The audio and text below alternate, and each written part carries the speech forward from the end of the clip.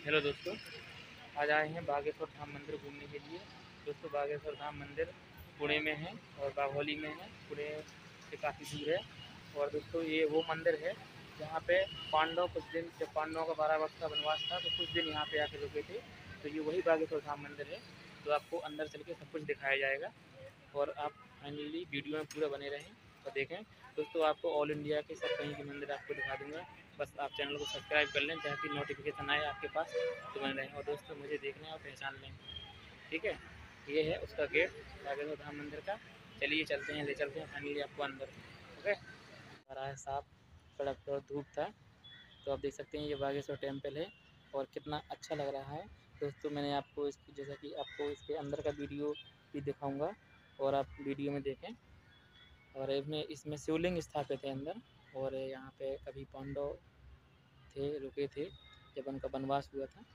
तो उस टाइम पे देख सकते हैं, आप यहाँ पे कितना भव्य नज़ारा लग रहा है, सुंदर प्रतीत हो रहा है।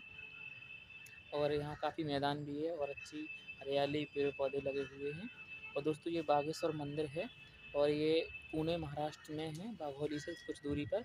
और दोस्तों, ऐसा कि आप इस मंदिर में ऊपर ये खासियत है, ये देख पा रहे हैं जो ये खांचे के खांचे कटे हुए हैं। इसमें हर तुम्हें देवता की पूजा करने के मौका मिलेगा और क्या है, इसमें हर भगवान की मूर्ति स्थापित है। इसमें चारों तरफ़ से खांचे खांचे हैं, आप देख सकते हैं। और मैं आपको दिखाऊँगा अभी आप इसमें थोड़ा गौर से देखें तो आपको नज़र ज़रूर आएँगे। और दोस्तों, ये बहुत ही पुराना मंदिर है, पुराना टेंपल है, बरसों पहले का है। और दोस्तों, मैं यहाँ पे बहुत दूर से ही आ, दूर से भी आए हैं हम काफ़ी। और दोस्तों, आप सब लोगों का प्यार ऐसे ही बना रहे, इसलिए बना रहे। दोस्तों, जितने भी टेंपल हैं इंडिया में, आपको सारे के सारे टेंपल घुमाएँगे और दिखाएँगे।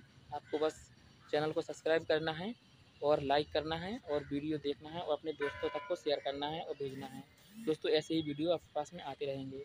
हैं, आप देख सकते हैं दोस्तों, अगर आप हिंदू सनातन धर्म से हैं, हिंदुओं को मतलब हिंदू देवी देवताओं को मानने वाले हैं तो दोस्तों वीडियो को लाइक ज़रूर करें और कमेंट्स करके मुझे बताएँ और आप देख सकते हैं। यहाँ पे और भी आपको दिखाया जाएगा। आप देख सकते हैं पीछे बहुत भीड़ मची, भीड़ लगी हुई है।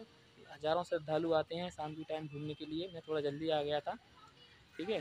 तो आप देख सकते हैं यहाँ पे। और दोस्तों यहाँ पे तालाब भी बना हुआ है। आप जैसा कि पीछे देख सकते हैं, ये तालाब है पर ये गेट है, तालाब का ये बंद है यहाँ पे। अभी बोटिंग थी, तब बोटिंग वाला बंद हो गया है। तो दोस्तों फाइनली आप देख सकते हैं। चलो मैं आपको और पास में चल के दिखाता हूँ। ये यहाँ मंदिर और ऊपर लिखा हुआ है, ओम नमः शिवाय। दोस्तों, अगर आपको वीडियो रियल में अच्छा लगा हो तो कमेंट्स में ओम नमः शिवाय ज़रूर लिखें। और बहुत ही अच्छा लग रहा है मंदिर में। और ये सनातन, हिंदू सनातन धर्म की बहुत बड़ी संस्कृति है और धरोहर है एक प्रकार से, आप देखा जाए तो। और दोस्तों, आप देखें अच्छी तरीके से।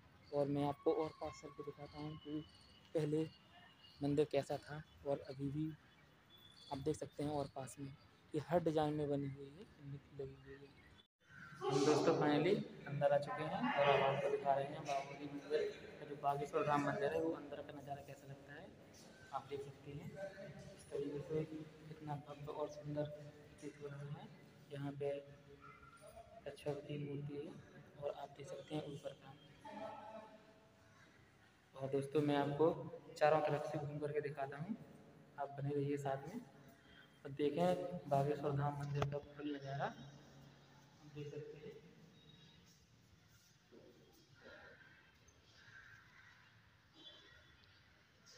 दोस्तों, ये महाराष्ट्र, पुणे में है और बाघोली से थोड़ी दूर स्थित है बागेश्वर धाम मंदिर। और आप देख भी सकते हैं यहाँ पे कितना अच्छा लग रहा है। और यहाँ पे शिवलिंग स्थापित है और कछुआ है, आप देख सकते हैं, इनके दर्शन कर सकते हैं आप। बहुत ही भाग्यशाली लोगों को दर्शन होते हैं इनकी। तो आप दर्शन करें और देखें। और दोस्तों, अगर आप वीडियो आपको अच्छा लगे तो मुझे कमेंट्स करके ज़रूर बताएँ और चैनल को सब्सक्राइब ज़रूर करें और ऐसे ही मंदिर आपको दिखाते रहूँगा। पूरे ऑल इंडिया में घूम करके आपके हर मंदिर दिखाऊँगा आपको। आप बस वीडियो में बने रहें साथ में।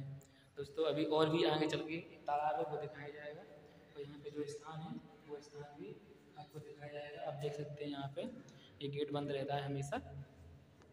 और बैक कैमरे से आपको ये भी दिखा देते हैं कि अंदर क्या है। ठीक है? बैक कैमरे से भी मैं दिखाता हूँ आपको। दोस्तों, आप देख सकते हैं, बैक कैमरे से अंदर शिवलिंग स्थापित है। ये अभी तक के दोस्तों, अंदर शिवलिंग स्थापित है। भगवान शिव की पूजा होती है यहाँ पे।